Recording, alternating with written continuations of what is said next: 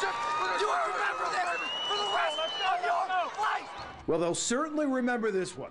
Rockford used quick strikes and big plays, a recipe for a second straight state championship. First quarter, Zach Breen breaks one for 52 yards. Rams jump out to a 7 0 lead.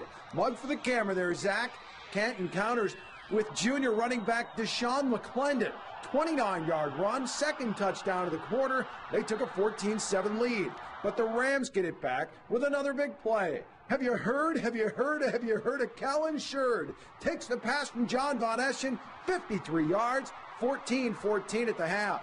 Rams take the lead late third quarter. Von Eschen scrambles 21 yards to paydirt, 21 14.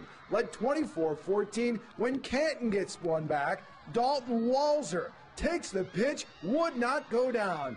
15 yards, 24 21. But the Rams wrap it up next possession. Zach Breen goes 11 yards. Rockford wins a second straight state championship, 31 21. You know, we live on the big play, really. Uh, you know, Callan catches a slant pass and see you later. You know, Breen breaks one and goodbye. Uh, you know, it's it's that's our style of football. We we came in and kind of had a feeling that we could move on them, and uh, we were able to. I mean, we played we played one of the best games of the season, and it was it was, it was awesome.